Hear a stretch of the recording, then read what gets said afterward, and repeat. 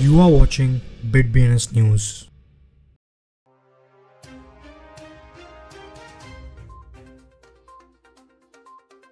Today's headline Hong Kong issues world's first tokenized green bond. Ancient Dogecoin whales wake up first time in two years, moving 326 million Doge. Whales recently buy 1.6 million ape worth about 8.5 million dollars. Binance will support the Tron contract swap. California regulator launches crypto scam tracker. The Bank of Japan to launch its CBDC parade before me.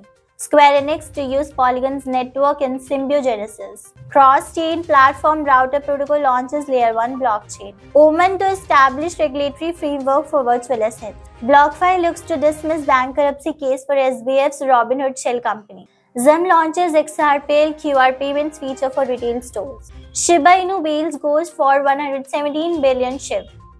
The Hong Kong government announced the successful issuance of its first tokenized green bond of 800 million Hong Kong dollars. A Dogecoin wallet that has been inactive for almost two years has recently transferred significant amount of Doge to a new address amounting to 326.4 million Doge or roughly 28 million dollars at the time at transfer.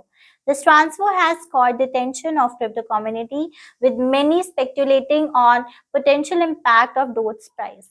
The on-chain analysis platform LookOnChain took to Twitter earlier this morning to share some new data about ApeCoin whales. According to the post, LookOnChain noticed that three whales bought a total of 1.6 million ape, which is worth about 8.5 million dollars from Binance, and staked it in the past seven days. Binance will handle all Binance will handle all technical requirements involved for all users holding TRX in the Binance accounts. A separate announcement will be made once the contract swap is complete and deposits and withdrawals of TRX are open. California regulators have launched a tool to help people hesitant to invest in crypto projects over fears of falling victims to scams. On February 17th, the Bank of Japan released the opening speech of its executive director Shinichi Uchida at CBDC committee meeting. In it, Uchida announces that the bank decided to launch a pilot program for digital yen in April after finishing its proof of concept testing,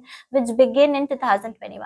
Japanese gaming company Square Enix has announced that it will be using Polygon on Ethereum sidechain as the base for Symbiogenesis, its upcoming Web3 experience.